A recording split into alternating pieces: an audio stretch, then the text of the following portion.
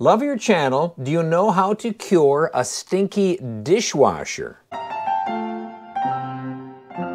I have a comment. I'm going to comment on a comment. This is new for me. So, my friend Dan, he's a subscriber and a friend, he started this out about a stinky dishwasher. And he wanted me to answer it and not say no and uh, what was it? And don't say nope or maybe Duke knows? Duke, do you know? Duke, Duke doesn't know. He's sleeping. So, we have to answer it now. So, it goes like this. Love your channel. Do you know how to cure a stinky dishwasher? Well, Ryan, a while ago, chimed in and he said, I spontaneously cleaned my dishwasher literally this morning. We're all inside, all cooped up, and we're looking for things to do. Clean your dishwasher. Who does that? You're supposed to do it. Mine is a Whirlpool, and there's a filter on the floor of the dishwasher that you have to turn uh, counterclockwise to unlock and then pull it out.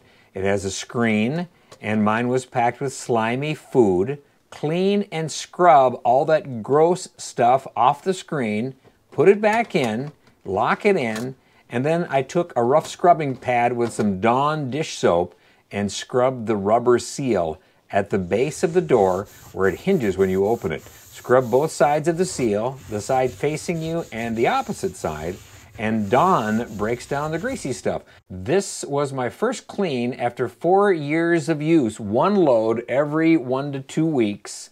One load every one to two weeks. So let's go over to my dishwasher. I'm going to show you what's going on here. This is the uh, Whirlpool dishwasher.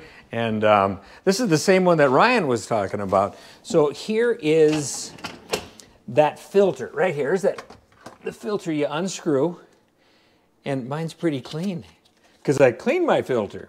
But way inside, there's always there's always water in your dishwasher.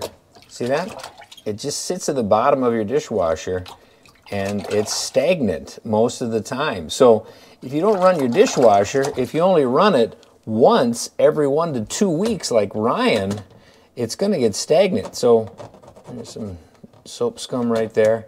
So remember, everything goes through here first, and then it shoots into the garbage disposal. If you have one, I'm assuming you do. And so this is a whirlpool just like the one Ryan had. So I commented on Ryan's comment. If you'd like to comment on my comment, leave a comment. And also buckle up, eat your vegetables, call your mom, and uh, that's all I got.